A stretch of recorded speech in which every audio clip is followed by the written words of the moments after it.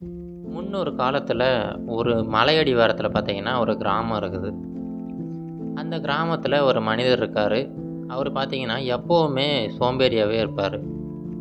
அந்த கிராமத்தில் இருக்கிற மற்ற மக்கள் எல்லாருமே காலையில் எழுந்து வேலைக்கு போவாங்க வயலில் போய் வேலை செய்வாங்க. இன்னும் பல வேலைகளை செஞ்சுக்கிட்டு இருப்பாங்க. ஆனால் இவர் மட்டும் காலையில் எழுந்து சாப்பிடுவார். சாப்பிட்டுட்டு போயிட்டு மரத்தடியில் படுத்து தூங்கிட்டு இருப்பார். எப்போவுமே பகல் கனவு கண்டுக்கிட்டே இருப்பார். எந்த வேலையுமே செய்யாமல் ரொம்ப சோம்பேறித்தனமாகவே இருப்பார். அந்த துறவி வந்து இந்த மனிதரை பார்க்குறாரு பார்த்துட்டு இந்த மனிதர்கிட்ட வந்து தம்பி உனக்கு நான் ஒரு வேலை வச்சுருக்கேன். அந்த வேலையை செய்கிறியா அப்படின்னு சொல்லிட்டு கேட்குறாரு உடனே அந்த மனிதர் சொல்கிறாரு ஐயா நான் வந்து எந்த வேலையும் செய்கிறதில்ல நான் வந்து எப்போவுமே ஓய்வு எடுத்துக்கிட்டு தான் இருப்பேன்.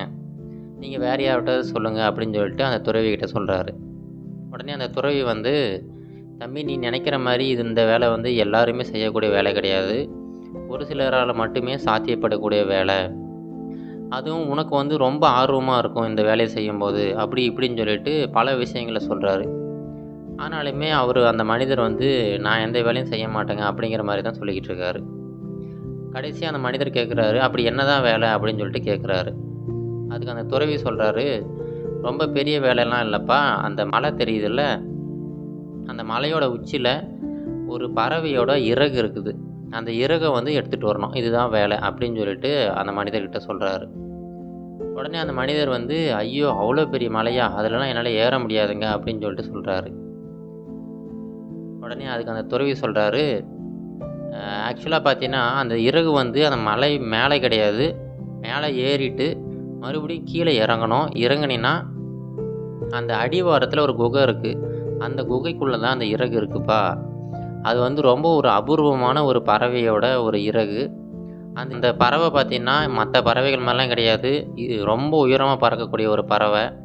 அந்த இறகு உங்கள் கையில் இருந்துச்சுன்னா நீ நினச்சது எல்லாமே நடக்கும். அப்படி இப்படின்னு சொல்லிட்டு இவரை வந்து ஊக்கப்படுத்துகிறாரு இந்த மனிதர் வந்து இது கேட்ட உடனே ஒரு உத்வேகம் வருது. ஏன்னா இவருக்குமே வந்து பறவைகள் அப்படின்னா ரொம்ப இஷ்டம். உடனே சரி ஐயா நான் வந்து கண்டிப்பாக அந்த வேலையை செய்கிறேன் அப்படின்னு சொல்லிட்டு ஒத்துக்கிறாரு. உடனே துறவி சொல்கிறாரு நீ நினைக்கிற மாதிரி வந்து கொஞ்சம் ஈஸியான வேலையெல்லாம் கிடையாதுப்பா. ஏன்னா இந்த மலை ஏறுறதுங்கிறது ரொம்ப கஷ்டமான வேலை அப்படின்னு சொல்கிறாரு பரவாயில்லைங்க ஐயா நான் பார்த்துக்கிறேன்னு சொல்லிட்டு அந்த மனிதர் வந்து அவரோட பயணத்தை தொடர்றாரு. அவரோட பயணத்தில் பார்த்தீங்கன்னா ரொம்ப இடையூறுகளாக இருக்குது அந்த மலை வந்து அவ்வளோ ஈஸியாக ஏறக்கூடிய மலை கிடையாது. ரொம்ப கரடு முரடாக இருக்குது ஆனாலுமே இவர் வந்து மனம் தளராமல் அந்த மலையில் ஏறி போயிட்டுருக்காரு ஒரு சில டைம் பார்த்தீங்கன்னா எதுக்குங்க வந்தோம்? ரொம்ப கஷ்டமாக இருக்குங்கலாம் தோணுது. ஆனாலுமே பின்வாங்காமல் அந்த மலையோட உச்சிக்கு போய் நிற்கிறாரு அப்போது அந்த இடத்துல பார்த்தீங்கன்னா அவர் மனசில் ஒரு இனம் புரியாத ஒரு சந்தோஷம் ஏற்படுது. எதையோ சாதிச்சிட்ட மாதிரியான ஒரு உணர்வு. அந்த இடத்துலேருந்து அப்படியே கீழே பார்க்குறாரு அப்படியே உலகமே அப்படியே ரொம்ப அழகாக தெரியுது. அந்த இடத்துல சாதிச்சிட்ட மாதிரியான ஒரு உணர்வு அவருக்கு ஏற்படுது.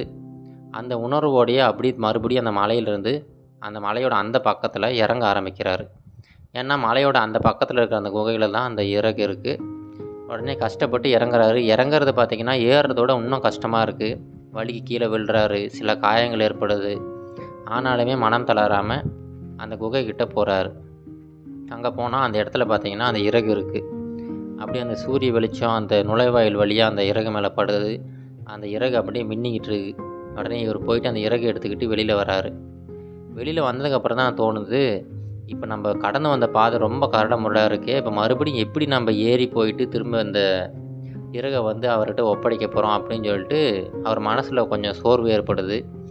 அந்த சமயத்தில் பார்த்தீங்கன்னா அந்த மலை உச்சியில் இருக்கும்போது அவருக்கு ஒரு உணர்வு ஏற்பட்டுச்சுல. அந்த சந்தோஷமான ஒரு சாதிச்சிட்ட மாதிரியான ஒரு உணர்வு. அதை வந்து அவர் மனசில் நினச்சிக்கிறாரு. அதை நினச்சிக்கிட்டு மறுபடியும் அந்த மலை மேலே ஏறி மறுபடியும் கீழே இறங்கி வந்து அந்த துறவிக்கிட்ட இந்த இறகை வந்து ஒப்படைக்கிறாரு. இப்போ அந்த துறவி சொல்கிறாரு இங்கே பாருப்பா நான் வந்து முதல் முறையாக உங்கள்கிட்ட வந்து இந்த வேலையை கொடுக்கும்போது நீ ரொம்ப சோம்பேறித்தனமாக இருந்த. ஆனால் நீ அந்த சோம்பேறித்தனத்தை வெற்றி பெற்றுட்டு உங்கள்கிட்ட இருக்கிற உண்மையான அந்த சக்தி வெளிக்கொண்டு வந்திருக்க. இது போல தான் பல மனிதர்கள் அவங்களுக்குள்ளே இருக்கிற அந்த உண்மையான சக்தியை வெளிக்கொணராமல் ரொம்ப சோம்பேறித்தனமாக இருப்பாங்க. சோம்பேறித்தனங்கிறது நாம் வந்து ஏற்றுக்கொள்ளக்கூடியதோ அல்ல பொறுத்து கொள்ளக்கூடியதோ கிடையாது. அது வந்து ஒரு சின்ன ஒரு தடை மாதிரி தான் அந்த தடையை மீறி நாம் எப்போ வெளியில் வரோமோ அப்போ தான் நமக்குள்ளே இருக்கிற அந்த உண்மையான சக்தி வந்து வெளிப்படும். அப்படின்னு சொல்லிட்டு அந்த மனிதர்கிட்ட துறவி சொல்கிறாரு உடனே அந்த மனிதர் வந்து அந்த வினாடியிலிருந்து அவருடைய சோம்பேறித்தனத்தை எல்லாத்தையுமே விட்டுட்டு ரொம்ப சுறுசுறுப்பாக அவருடைய வாழ்க்கையை வாழ ஆரம்பிச்சிட்டாரு. இது போல் தாங்க நாமளும் பார்த்தீங்கன்னா பல விஷயங்களில் சோம்பேறித்தனமாக இருப்போம். பல விஷயங்களை வந்து தள்ளி போட்டுக்கிட்டே இருப்போம். அந்த மாதிரி சமயத்துலலாம் நீங்கள் கொஞ்சம் யோசித்து பார்க்கணும். இதுக்கு முன்னாடி பல இடங்களில் பல இடையூறுகளை தாண்டி ஒரு சில விஷயங்களை நீங்கள் சாதிச்சிருப்பீங்க. அந்த விஷயத்தை சாதிக்கிறதுக்காக நீங்கள் உங்களோட சோம்பேறித்தனத்தை வெற்றி பெற்று தான் அவங்களுடைய அந்த விஷயத்தை சாதிச்சிருப்பீங்க. அதை மட்டும் நீங்கள் மனசில் வச்சுக்கங்க. கண்டிப்பாக நீங்களுமே ஒரு சுறுசுறுப்பான ஒரு வாழ்க்கையை வாழ முடியும். இது கரேஜ் டு ஆக்ட் மோட்டிவேஷன் கதைகள்.